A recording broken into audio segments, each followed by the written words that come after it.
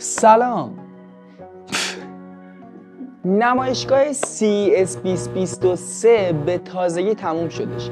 این نمایشگاه برای علاقمندان به حوزه تکنولوژی و فناوری اهمیت زیادی داره.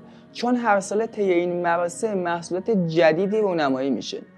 امروز توی این ویدیو با هم دیگه می‌خوایم مهمترین اتفاقاتی که توی این چهار روز توی این نمایشگاه اتفاق افتاده رو ببینیم.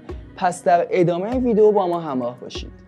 خب اول از همه بریم سراغ سامسونگ. این شرکت کره توی نمایشگاه امسال سرش حسابی شلوغ بوده و محصولات زیادی رو هم معرفی کرده. اول از همه مانیتور اودیسه نئوی G9 یک مانیتور 57 اینچی با فناوری مینی LED این مانیتور منحنی به این شکلی که انگار دو تا صفحه 4K رو کنار هم گذاشتید. بخش سامسونگ Display هم یک صفحه نمایشی به اسم Flex Hybrid رو معرفی کرد. این کانسپت احتمالا اجازه میده که در آینده نزدیک گوشی های سامسونگ هم به صورت تاشو باشن مثل Z Fold و Z Flip و هم به صورت کشویی به بازار عرضه بشن.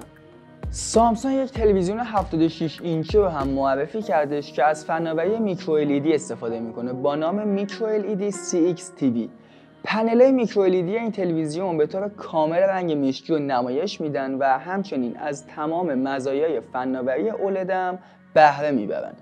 این پنل ها باشون میشه تلویزیون در سایز ها و ابعاد مختلف تولید کرد. توی بخش سامسونگ گوشی هوشمند جوی آخرین موردی بودش که الان می‌خوایم بهش اشاره بکنیم. رونمایی از گوشی گلکسی A14 که توی بازه قیمتی که داره امکانات خوبی ارائه میده. بعد از سامسونگ نوبت می‌رسه به LG LG دیگه توی حوزه گوشی هوشمند فعالیت نداره. اما توی سایر بخش های فناوری و تکنولوژی به ویژه پنل های صفحه نمایش کماکان حضور پررنگی داره. بخش LG Display توی نمایشگاه CES 2023 concept هایی رو معرفی کرد که می‌تونه آینده پنل های OLED رو بسازه. یکی از این concept که بخوایم بهش اشاره بکنیم پنل OLED 8 اینچیه با قابلیت تاشوندگی 360 درجه که امسال LG توی این نمایشگاه ازش رونمایی کرد.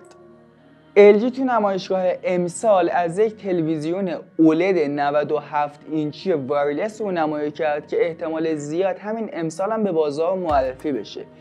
LG Signature Series M3 OLED که از یک فناوری اختصاصی جدید به نام Zero Connect Box استفاده می‌کنه که طی اون تمام اطلاعات بدون نیاز به هیچ گونه سیمی رد و بدل میشه. اما این پایان کار LG توی این نمایشگاه نبود. LG OLED T آخرین فناوری بودش که این شرکت توی CES 2023 ازش رونمایی کرد. یک تلویزیون OLED شفاف که وقتی شما از تلویزیون استفاده نمی کنید و به اصطلاح خاموشه پشتش کاملا معلومه و به تعبیر کاملا شفافه. البته LG بجز تلویزیون و صفحه نمایش حرفای دیگه هم برای گفتن داشت. مثلا لپتاپ LG گرم اولترا اسلیم که یک دیوایس با زخامت حدودا یک سانتی و صفحه نمایش 15 و 6 اینچی اولده. این لپتاپ با این ویژگی که داره یکی از خاصترین محصولات موجود فعلی در بازاره. از دیگر کمپانی های مشهوری که توی این نمایشگاه حاضر بودن میشه به Nvidia اشاره کرد که توی نمایشگاه CES 2023 از کارت گرافیک قدرتمند GeForce RTX 4070 Ti با قیمت 799 دلاری رونمایی کرد. همچنین سری لپتاپ های RTX 40 که مخصوص حوزه gaming هستش هم معرفی شد. توی نمایشگاه CES از لپتاپ خیلی خفنی هم رونمایی شد.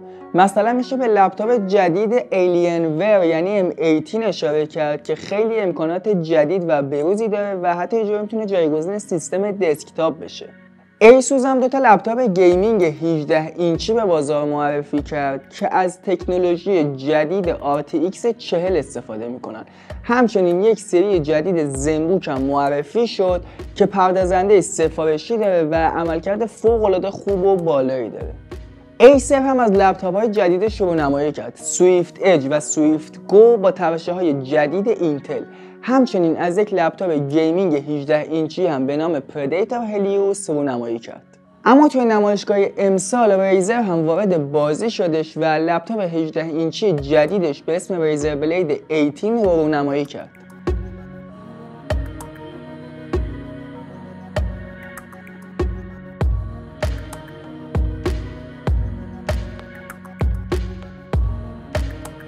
یه لپتاپ دیگه هم که به نظر من خیلی جالب اومد Lenovo Yoga Book 9i بود که از دو صفحه نمایش OLED به هم چسبیده به همراه یک کیبورد ارائه شده.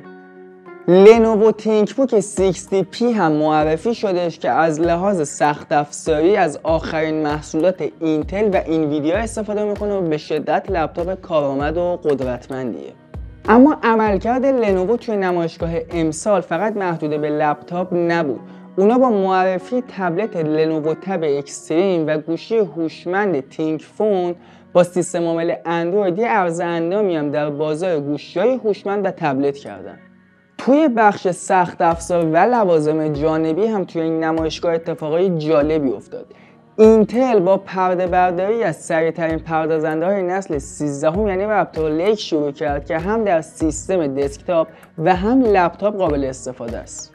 همچنین ایلین و هم از مانیتور 500 هرتزی فوق‌العاده خودش رونمایی کرد که یه گفت خیلی خاصه ولی خب با وضع موجود شاید تا یه مدت این میزان از نرخ تازه سازی کارآمد نباشه.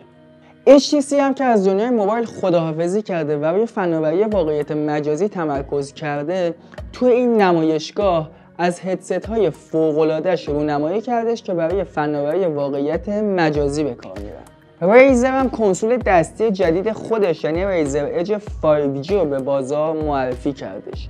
این محصول مناسب کساییه که نمی‌خوان پول زیادی بابت سیستم های gaming بپردازن. Razer این محصول رو با همکاری شرکت مخابراتی Verizon ساخته و توی اون از فناوری ابری استفاده کرده. توی نمایشگاه CES امسال اتفاقات فوق‌العاده ای افتاد و این ویدیو تنها بخشی از اونا بود. ما سعی کردیم طی این ویدیو جالبترین و جدیدترین محصولات از شرکت های معروف به شما معرفی بکنیم. یادتون نره که channel ما رو subscribe کنید و این ویدیو رو هم like کنید و نظراتتون رو در بخش کامنت با ما در میون بذارید. خیلی ممنون که تا انتهای ویدیو همراه ما بودید. آخرین نکته قابل توجهی هم که میشه به سامسونگ اشاره کرد نه. توی بخش سامسونگ یه میشه گفت آخرین نکته. البته LG بجز تلویزیون و صفحه نمایش تو دیگر بخش تکنولوژی هم این نمایش حرفی برای گفتن. که این لپتاپ LG رو تبدیل به یکی از خاصترین محصولات تو این دسته از بازار می‌کنه. که در واقع که در واقع دو لپتاپ در یک لپتاپه. چی بگم اینو؟ یه محصول جالب دیگه هم که امسال این شرکت یعنی لنوو بازار داد یوگابوک 9A بودش که از دست ده اما فعالیت های لنوو اما فعالیت های لنوو تو این نمایشگاه محدود به لپتاپ نشدش. تبلت لنوو تب اکستریم و گوشی 6 و 6 اینچی. اما محدودیت لنوو توی نمایشگاه امسال محدود به لپتاپ نبود. تو این نمایشگاه از های